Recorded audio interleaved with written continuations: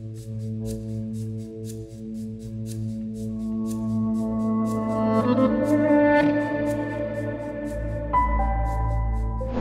bien, très heureux de vous retrouver sur cette deuxième vidéo. Je suis Paul Pironnet et si je vous parle de cette deuxième vidéo, c'est possible de changer et on va voir comment. C'est parce qu'il y a eu une première vidéo sur c'est possible de changer et je vais vous montrer justement sur cette première vidéo que je vous invite à voir avant celle-ci si toutefois vous arrivez directement. Pourquoi cette première vidéo est importante? Parce que je vous présente cinq constats qui montrent comment notre société est en train d'évoluer, de changer. Et à partir de ces cinq constats, je vous propose trois questions fondamentales à partir desquelles eh bien, reposent nos changements de vie.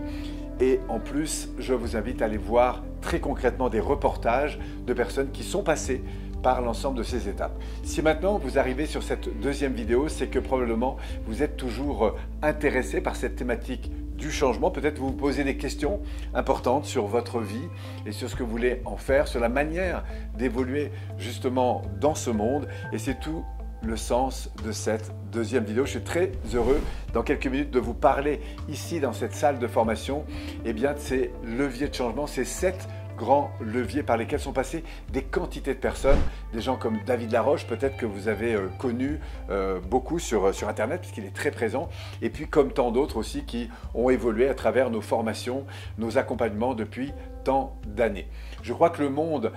aujourd'hui n'a plus besoin de cynisme, de négativisme et moins encore de critiques, mais bien au contraire de leaders, de leaders capables de prendre des responsabilités, capables de résilience et surtout d'accompagner le changement, d'orienter les gens vers des solutions, vers ce nouveau normal et donc du coup de vous orienter vers la solution. Qu'est-ce que la solution? Eh bien, c'est cet aspect qui consiste aujourd'hui à mettre son énergie sur ce que l'on veut plutôt que ce que l'on veut plus. Et puis, bien sûr, d'intégrer tout un ensemble d'outils, d'approches, de stratégies qui permettent à la fois de mieux se connaître, mais aussi d'interagir de manière plus positive et constructive avec son environnement pour justement s'aligner. On va le voir à la fois sur notre réussite de vie et puis bien sûr sur nos valeurs, ce qui donne au final du sens à notre vie.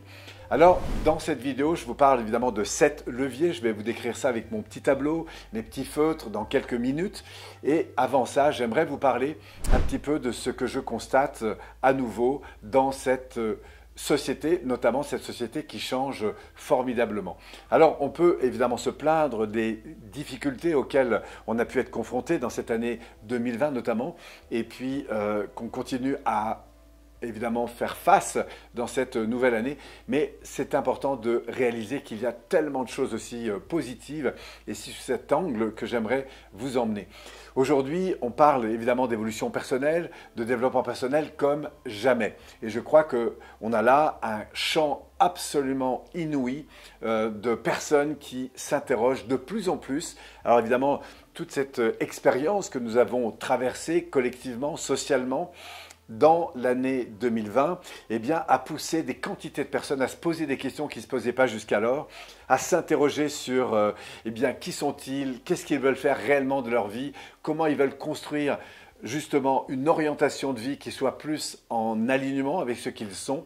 Et de fait, ça a accéléré, et j'en suis le premier observateur, ça a accéléré une demande considérable de personnes qui veulent changer. Vous êtes probablement aujourd'hui dans cette dynamique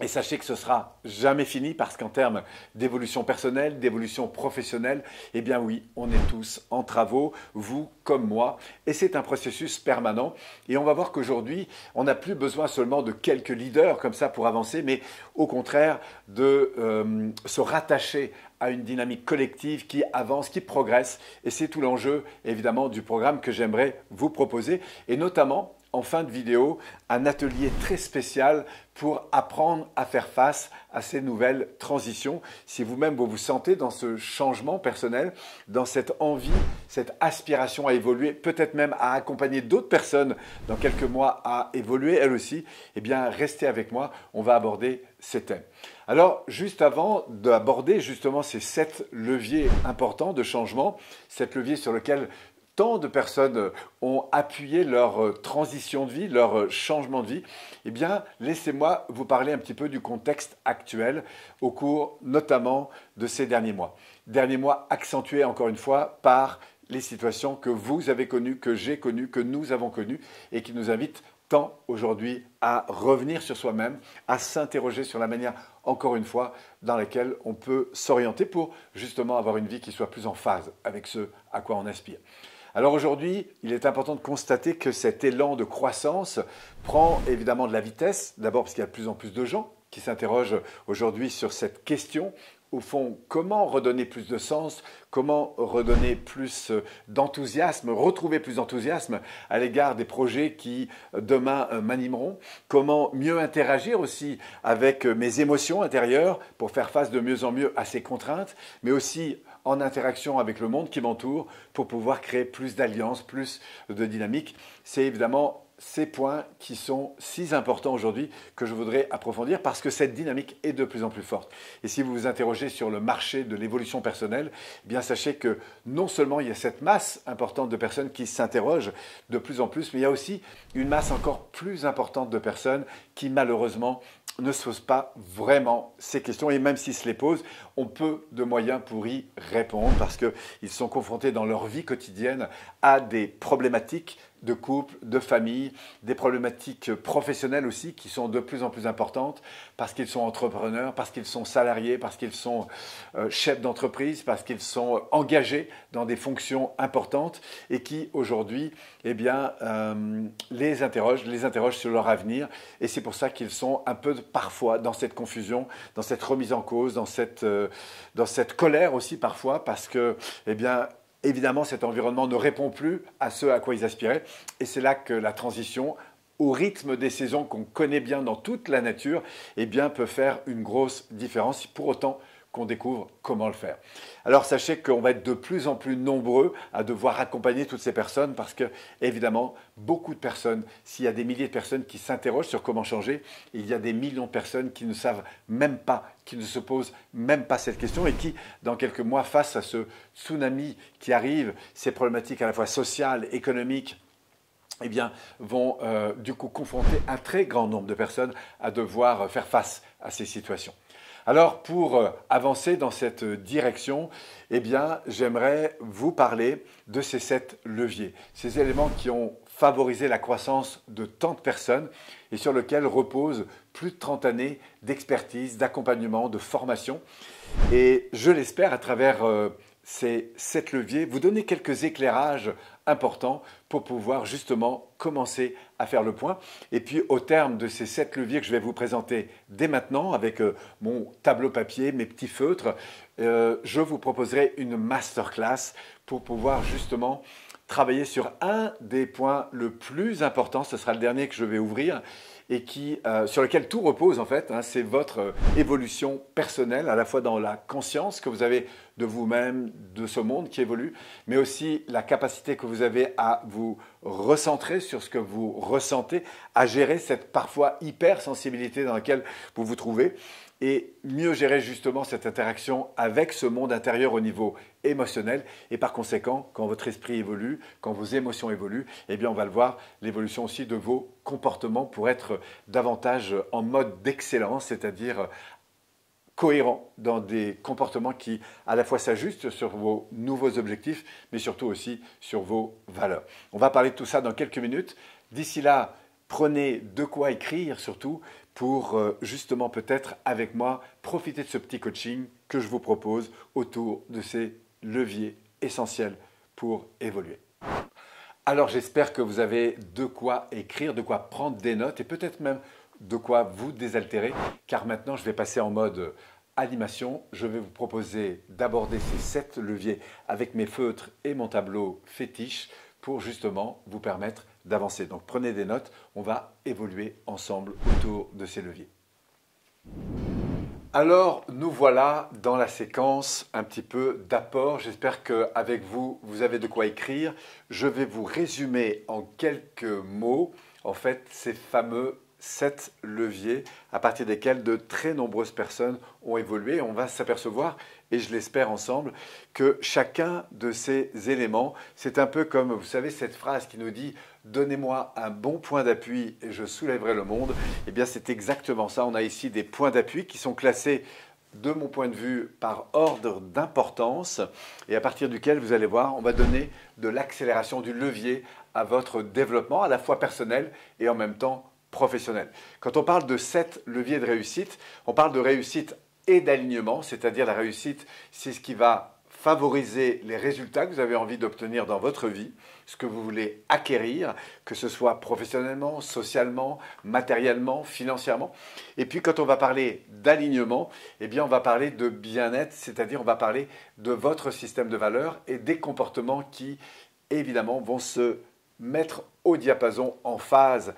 de façon à pouvoir incarner dans votre vie ces systèmes de valeurs. Et donc ces deux mondes, à la fois l'alignement personnel et la réussite, c'est évidemment les axes qui nous passionnent tant et qui ont permis justement à tant de personnes, parce qu'ils s'interrogent sur eux-mêmes, ils s'interrogent sur leur avenir, ils s'interrogent sur la manière d'interagir avec leur environnement, et eh bien vont acquérir des leviers puissants, vous allez le voir, de développement à la fois personnel, mais aussi professionnel. Alors ces sept leviers reposent sur ces six premiers éléments, et on le verra, on finira par ce dernier élément qui est plus interne, qui est plus lié à votre évolution, évolution que je vous proposerai d'approfondir plus en direct, parce que là je suis derrière une vidéo, vous ne pouvez pas interagir avec moi, mais c'est pour ça que je vais vous inscrire, si vous le souhaitez, à une masterclass, masterclass dans laquelle on va pouvoir interagir à partir des éléments que vous aurez notés pour pouvoir répondre au mieux à vos questions et puis surtout vous expliquer de manière très concrète comment on accompagne ces personnes une fois qu'elles ont pris en compte l'ensemble de ces éléments. Alors le premier élément qu'on va constater chez toutes personnes qui ont réussi, et je prends là des personnes que vous connaissez peut-être, comme je citais tout à l'heure euh, David Laroche, mais bien d'autres encore qui se sont euh, formés chez nous, que vous trouverez sur les vidéos, que vous retrouvez sur les reportages, sur les témoignages qui alimentent évidemment cette vidéo. Premier élément important qu'on retrouve chez toute personne, et là on a des curseurs évidemment plus ou moins élevés, c'est ce qu'on va appeler le rêve de cœur, c'est-à-dire que c'est cette euh, flamme intérieure que l'on ressent et qui transporte en même temps les personnes. Vous connaissez Martin Luther King qui disait, il disait une phrase avec laquelle je ne suis pas complètement d'accord, mais j'aime l'idée. Euh, quand un homme ne sait pas pourquoi il est prêt à mourir, il ne mérite pas de vivre. En fait, ce qu'il voulait surtout dire, c'est à quel point, quand vous êtes porté par quelque chose d'important intérieurement, eh bien, se canalise en vous une intelligence, bien sûr, mais aussi des émotions et des comportements d'une nature extrêmement puissante. Et pour alimenter ce rêve de cœur, il va falloir aussi que ce cœur soit au service, on va le voir, d'une mission, c'est-à-dire de personnes et de contributions, c'est-à-dire au fond, qu'est-ce que j'ai envie d'apporter au monde, de particulier à travers ma propre histoire, et puis enfin, à travers euh, cette ambition eh bien, de trouver les leviers pour justement se découvrir intérieurement et aller clarifier cette mission de vie, cette vocation, cet euh, engagement que j'ai envie d'avoir ou de privilégier dans ma vie à l'égard des autres. Quand je parle des autres, ce n'est pas seulement sur un plan professionnel, hein, ça peut être à l'égard de mon conjoint, de mes enfants, de mes amis, euh, de ma santé, bref, à quoi j'ai envie et pour qui et à quoi j'ai envie de contribuer. Donc ça, c'est le premier point et je vous invite à prendre sur votre feuille un petit moment comme ça et d'aller lister peut-être une cinquantaine d'éléments comme ça qui vous portent, qui vous portent aujourd'hui ou qui vous ont porté ou qui vous ont euh, allumé dans votre vie, qui vous, vous ont ouvert le cœur, qui ont fait vibrer votre cœur justement pour, euh, pour aller vers l'avant. Donc c'est là que nos rêves intérieurs sont évidemment des leviers très puissants et c'est une des dimensions sur lesquelles on va beaucoup avancer si vous décidez d'aller plus loin sur votre évolution personnelle avec nous. Deuxième chose très importante, c'est ce que nous, on va appeler des mentors. Et c'est comme ça que cette vision va se construire, à la fois par une connexion interne, mais aussi par une représentation de ce vers quoi vous voulez tendre, votre destination. Et pour ça, vous allez avoir besoin de personnes qui vous inspirent, qui sont à la fois des leaders, qui parfois sont passés par votre propre chemin il y a quelques années, mais qui aujourd'hui, par euh, leurs résultats, par euh, leurs contributions, par euh, leur manière de servir, que ce soit en termes, encore une fois, de services ou de produits, servir ce monde à leur façon, ça, ça vous inspire. Et donc du coup, c'est très important d'avoir euh, comme ça quelques modèles. Et c'est justement le deuxième point sur lequel je vous invite à plancher. Une fois que vous avez ces 50 éléments qui vous animent, et eh bien de vous dire, waouh, quand je regarde mon avenir, quels sont les deux, les trois, les quatre, les cinq, les dix personnes euh, qui ont peut-être écrit des livres, qui ont fait des films, qui ont aujourd'hui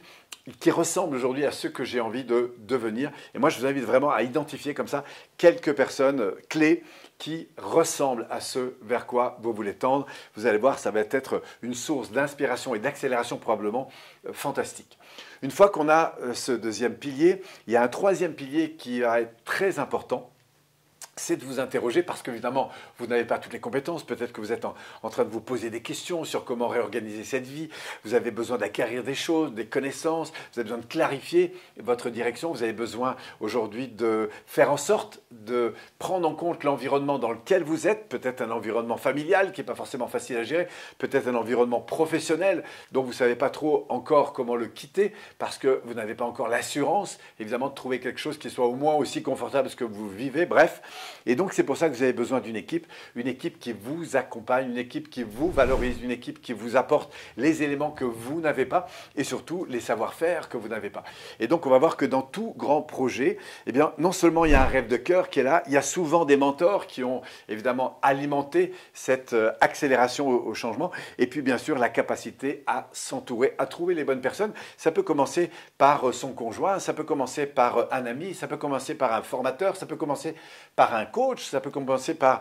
des amis qui vous conseillent. À partir du moment où ce rêve et cette destination commencent à se dessiner, eh bien vous allez voir qu'on peut trouver aussi les équipes. Et notamment d'ailleurs, grâce à la meilleure connaissance de vos mentors, vous allez trouver ici les ressources, c'est-à-dire ces capacités, ces expériences, ces, ces savoir-faire que d'autres ont mais que vous n'avez pas et qui pourraient se mettre au service de votre projet. Donc ça, on va voir, c'est un levier très important. Et peut-être sur une troisième page, je vous invite à vous dire, waouh, aujourd'hui, dans le contexte dans lequel je suis, et par rapport à ce vers quoi j'ai envie de tendre, ce qui veut dire qu'il faut répondre à ces deux premiers leviers, eh bien, qui pourrait m'aider? Et même si pour l'instant, vous ne savez pas trop comment vous mettre en contact avec lui, eh bien, ou avec elle,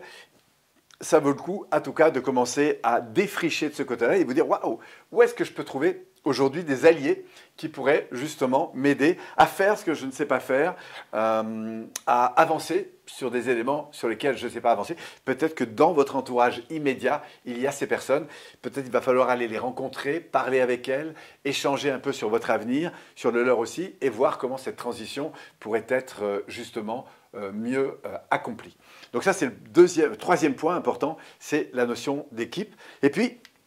si on avance encore, eh bien on va le voir, la capacité à trouver un réseau, à trouver des communautés, à trouver, euh, on pourrait dire, euh,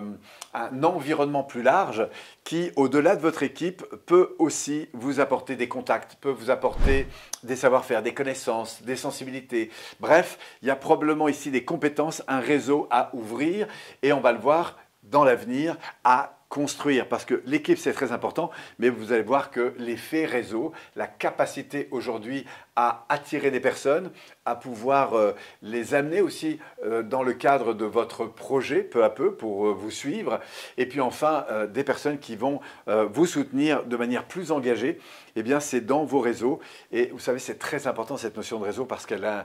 c'est un levier extrêmement important pour pouvoir croître, se développer et bien sûr embellir dans notre société. Donc voilà, ces alliances, un premier point, la vision avec les rêves et les mentors que je vous propose de méditer. Le deuxième, c'est vos alliances avec les équipes proches, les personnes que vous pouvez avoir, mais aussi les équipes plus éloignées que vous pourriez trouver dans votre réseau et qui pourraient être aussi des personnes ressources sur lesquelles vous pourriez compter pour justement construire votre avenir. Ce sera donc la quatrième page d'aller voir un peu plus largement quels sont ces professionnels, ces personnes, ces amis, ces mentors, ces coachs qui peuvent justement à un moment donné euh, construire ou vous aider à construire cette transition de vie. Et puis enfin, ça va être le dernier point, c'est d'élever votre niveau d'excellence, c'est-à-dire la capacité aujourd'hui à penser de manière différente, à ressentir et vivre les choses d'une manière différente grâce à une meilleure gestion de vos émotions, à une compréhension de cet appareillage intérieur, on va le voir,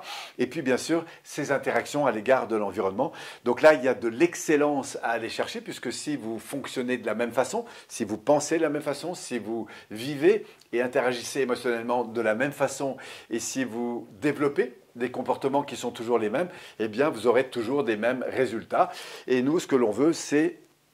développer une inclinaison de croissance plus élevée. Et on va voir à quel point développer de l'expertise d'abord en vous, dans cette capacité à penser, votre mindset, à gérer vos énergies, votre système émotionnel et puis bien sûr vos comportements. Ça, c'est de l'excellence, c'est de la formation qui va vous permettre ici de grandir. Il y a deux types d'apprentissage. Soit vous apprenez à gérer un logiciel, vous apprenez à gérer euh, du marketing, vous apprenez à gérer un bilan comptable, à construire, etc., une entreprise. Et puis, on va le voir, le levier le plus important pour moi, c'est apprendre à gérer votre appareillage interne, la manière dont vous percevez le monde, la manière dont vous réagissez intérieurement aux situations qui vous entourent, la manière dont vous allez émotionnellement aussi rayonner à l'égard des proches et des moins proches que vous allez rencontrer, et puis bien sûr toute cette mécanique relationnelle, verbale et non verbale, qui va faire que vous allez pouvoir adhérer à des terrains plus ou moins différents. Donc on va voir que ce développement personnel qu'on va retrouver ici est évidemment essentiel, et puis Dernier point, parce que ça va être aussi très important, c'est votre Si vous suivez un petit peu depuis quelques jours, eh bien cette communication que je fais plus particulièrement sur les réseaux, eh bien elle est aussi assistée pas seulement ici à un travail intérieur qui, euh, qui a dû s'aligner en quelque sorte sur cette ambition qui est la mienne aujourd'hui de communiquer avec vous et de vous partager le comment aujourd'hui on accompagne des personnes à se transformer, mais je fais aussi appel à beaucoup de technologies et ce à plein de niveaux, que ce soit au niveau du marketing, au niveau de la communication, au niveau de la mise en place des, formations, etc. Pour, grâce à cette technologie, eh bien, robotiser en quelques mots euh, et accélérer surtout euh, eh bien, la croissance. Donc c'est à la fois du développement intérieur, on va le voir, des connaissances à acquérir à l'égard de l'environnement extérieur et puis surtout, encore une fois, de faire appel aux meilleures technologies pour vous aider dans cette croissance. Et c'est toute l'ambition qu'on va avoir. Donc si vous avez envie d'avancer au-delà des rêves, des mentors, des personnes qui pourraient vous aider proches, euh, à la fois dans vos équipes et puis bien sûr plus éloignées dans vos réseaux. Si vous avez envie de pencher aussi sur les modalités que vous avez besoin de faire évoluer dans votre manière de penser, d'interagir, ou de communiquer. Si vous avez besoin d'acquérir des technologies, eh bien, n'hésitez pas à pencher aussi, à plancher un petit peu sur ces aspects. Je vais y revenir parce que c'est l'ensemble de ces leviers, encore une fois, qui vont donner de la puissance, de l'accélération, à la fois à votre développement personnel et par conséquent à la manière dont vous allez interagir dans tous les domaines de votre vie pour grandir vers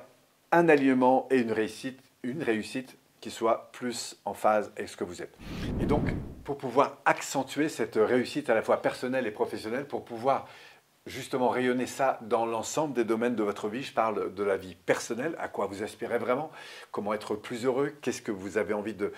acquérir aujourd'hui pour vous et, dans le cadre de vos relations avec votre environnement, que ce soit dans votre famille, avec votre conjoint, vos enfants, vos amis, et puis bien sûr sur le plan social et professionnel, comment aujourd'hui prendre de l'ascension encore une fois, pour euh, se centrer à la fois vers plus de réussite, mais aussi beaucoup plus d'alignement à l'égard de vos valeurs, pour autant de les connaître. Pour accompagner bien sûr cette évolution, à la fois personnelle, sociale, professionnelle, eh bien, je vous propose une masterclass pour travailler sur cette nouvelle transition de vie, comment aujourd'hui prendre en compte là où vous en êtes et accélérer ce processus de transformation de vie, processus que je vais évidemment vous décrire et puis surtout à partir duquel nous allons pouvoir interagir très directement puisque vous serez en masterclass, qui veut dire que vous pourrez poser vos questions, interagir avec moi et du coup obtenir des éclairages. Donc je vous ferai moi des apports sur... Euh, des éléments importants dans cette transition. Vous allez découvrir que, eh bien, il y a deux axes sur lesquels vous vous développez. Un axe bien-être, mal-être, qu'est-ce que vous vivez à l'intérieur, principalement centré sur la clarification de vos valeurs, de vos passions. Et là, il y a des processus justement pour aller à la fois écouter les frustrations que vous pouvez vivre dans l'ensemble de vos domaines de vie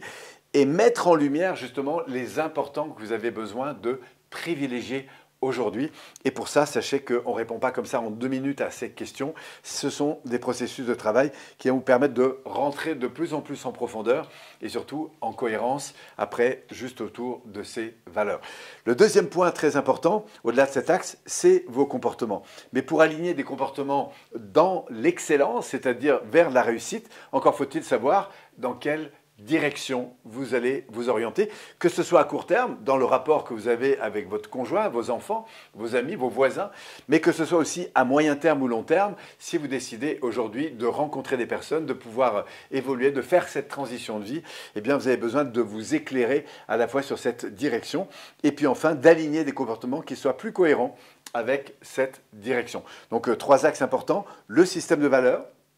la conscience de ce vers quoi vous voulez aller, sur quoi mettre le focus, quelles sont les solutions qui vous conviennent véritablement. Et puis en fonction de ces solutions, de ces visions, on verra comment ajuster vos comportements vers, et c'est ça qui va s'appeler de l'excellence, c'est ajuster vos comportements, vos stratégies, vos savoir-faire dans cette direction. Donc pour que cette transition se fasse, eh bien je vous expliquerai qu'on passe par des phases de remise en cause, c'est-à-dire qu'on est à peu près confortable dans une vie parfois même très confortable, mais qu'intérieurement ça vibre plus vraiment et donc vous avez une zone un peu d'automne qu'on va approfondir ensemble. Et puis, bah, sachez que si vous en êtes là, vous allez finir dans une zone un peu plus rouge, où là, vous allez vous dire, waouh, je commence à avoir des frustrations quand même qui sonnent fortes, là, mais je suis plus dans mes valeurs, et je suis dans un processus de vie où je fais des choses qui sont plus vraiment en phase avec moi, et du coup, je rentre ici dans une phase un peu d'hiver, rétractation, euh, sentiment un peu de, froid intérieur,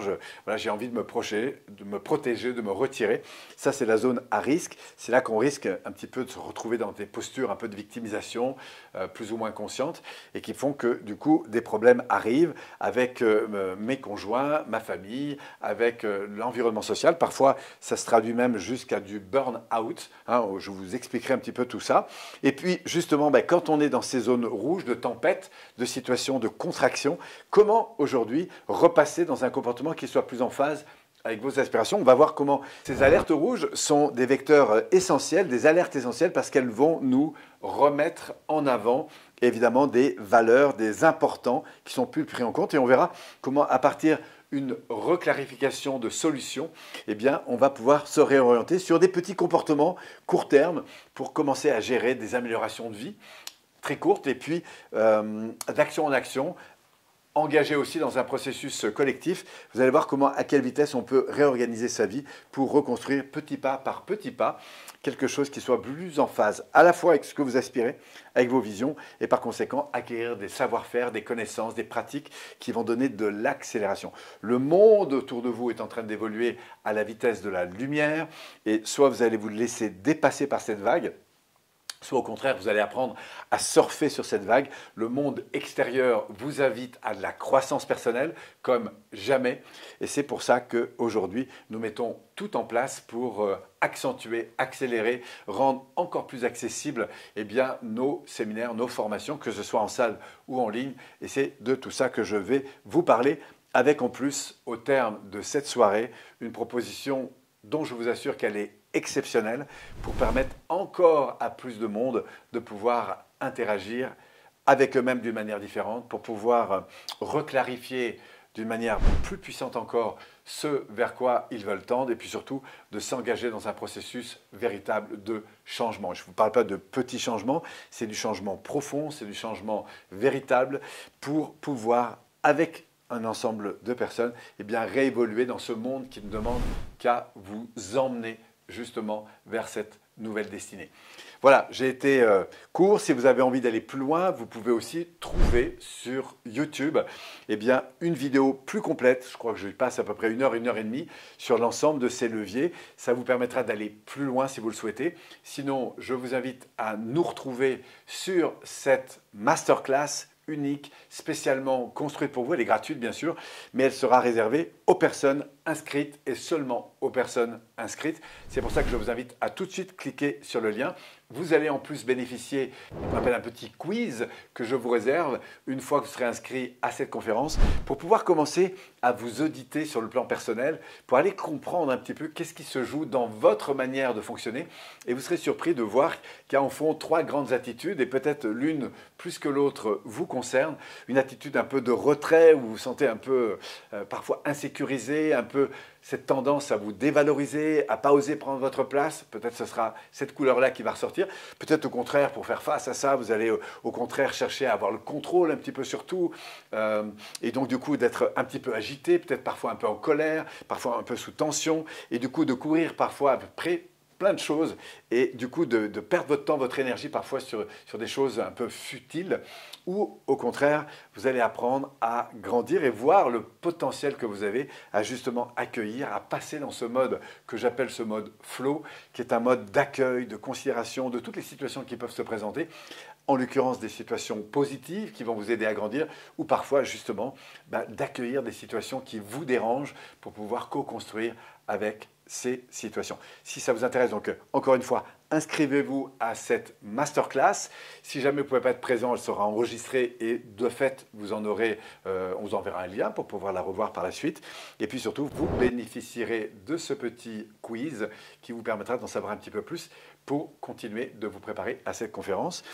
Et euh, bien sûr, sous cette vidéo, moi, je vous invite à interagir avec nous. Si vous voulez nous laisser un petit mot, si vous voulez nous dire, ne serait-ce que là où vous êtes, éventuellement un projet que vous poursuivez, peut-être une problématique que vous avez. Et moi, je vais continuer avec mes équipes de d'interagir avec vous, parce que c'est ça qui compte, nous, c'est de pouvoir interagir et d'être au plus près de vos préoccupations. Voilà, on se retrouve donc très très vite sur cette nouvelle masterclass. Et pour finir, je voudrais vous dire à quel point euh, je suis rempli de gratitude en fait pour, euh, pour cette dynamique actuelle de changement, mais aussi pour l'attention que vous mettez à l'égard de votre propre développement. Je voudrais à ce titre remercier euh,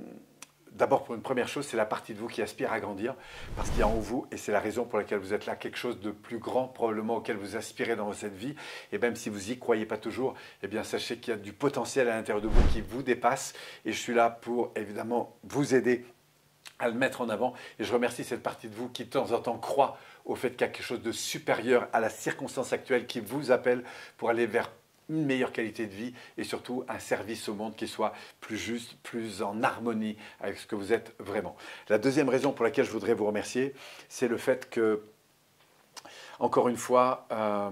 en décidant d'évoluer, en décidant de changer, euh, eh bien, vous allez impacter autour de vous. C'est-à-dire qu'il y a des personnes autour de vous qui vont tirer profit de votre évolution, vos enfants, vos conjoints, vos familles, vos collaborateurs. Il y a énormément de personnes qui vont euh, justement interagir avec vous. Et parce que vous avez grandi intérieurement dans votre façon de penser, dans votre façon d'agir émotionnellement et puis aussi dans vos relations, dans vos interactions, eh bien, vous allez les inspirer. Pour eux, Vraiment, je vous remercie. Et puis enfin, il y a une dernière euh, population aussi qui va avoir tellement besoin de vous dans quelques mois.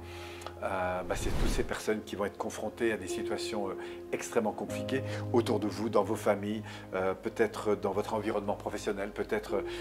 aujourd'hui dans votre métier, peut-être d'accompagnement si toutefois vous allez dans ces directions. Et ces personnes, elles vont avoir besoin d'outils, elles vont avoir besoin de votre expérience de transformation, elles vont avoir besoin de tous ces éléments auxquels j'espère vous allez pouvoir